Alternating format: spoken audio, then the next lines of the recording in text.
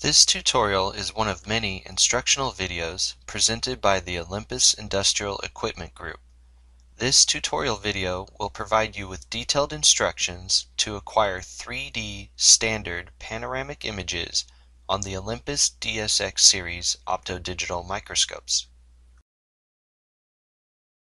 To begin creating a panoramic image, we will select Stitching from the button bar. The DSX optodigital microscopes have two options for creation of panoramic images.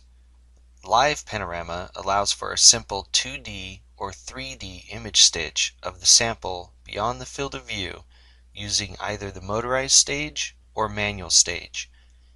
High Quality Panorama utilizes the motorized stage to stitch together a preset field of view. Please view the video for High Quality Panorama for more details. For this example, we will be performing a 3D standard stitch by selecting Live Panorama. After our selection, the Live Panorama window will open. This window will allow us to choose which type of image acquisition we would like to use. 2D Simple allows for us to simply drag the actual field of view to new locations while stitching together all visited fields of view. This is accomplished by either dragging the field of view window with your finger via the touchscreen or using the mouse to click and drag. With a manual stage, the software will track the change made by manually moving the stage location to perform the panoramic stitch. 2D Standard allows us to capture the single field of view, then click on the corresponding arrow or manually move the stage to the adjacent field of view to stitch. This allows for an overlap of images for the software to perform pattern alignment, improving the stitch quality.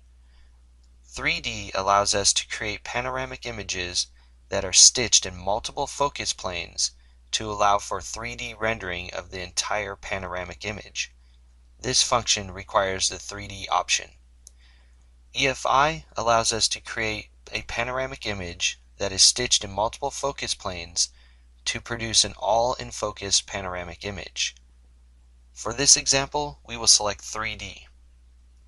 Once selected, the EFI 3D settings window will open to the right. This window allows us to set our start and end points for the focus range of our sample area, or to even specify a range. We will want to use the start and end points for this example. We can now use the focus buttons to move our focus point to the bottom of our sample focus range.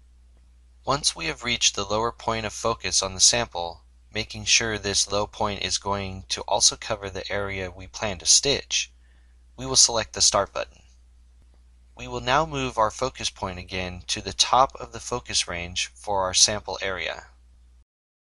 Making sure we have reached the top point of focus, enough to cover the entire stitched area as well, we need to simply select the End button to set our final range.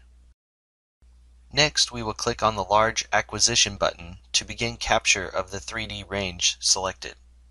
As the scan occurs, we can watch its progress with the display bar.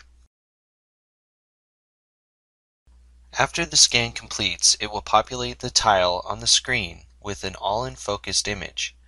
We now need to guide the software to the next location we would like to stitch together.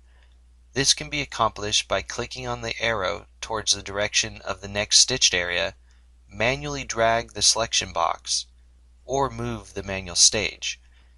The standard stitch option, which includes 3D or EFI stitching, requires there to be a percentage of overlap of the previous image as the software will perform pattern alignment. This overlap is automatically set if we click the arrow. If we move the selection box manually, or move the manual stage, we will have to leave enough overlap area required by the software. We will simply click on the right arrow to move the stage.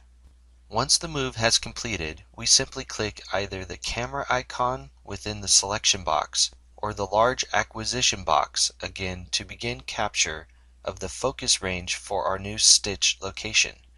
It is not required to capture the top and bottom of focus again.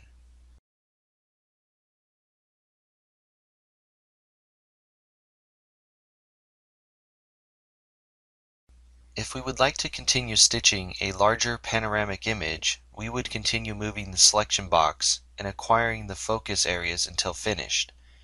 For this example, we can now select the Complete box to finish the two fields of view we have defined. The software will then close the Stitching window and display our all-in-focus stitched image.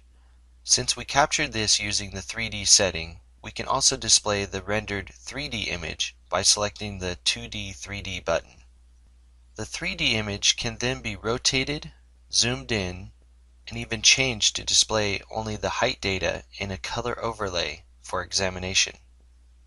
We can also continue through the software to capture height, volume, area, geometric, or step angle measurements on our 3D stitched image.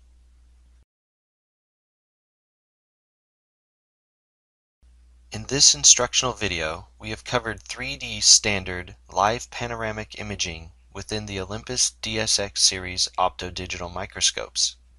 We hope this video has been beneficial and we invite you to contact us directly with any questions.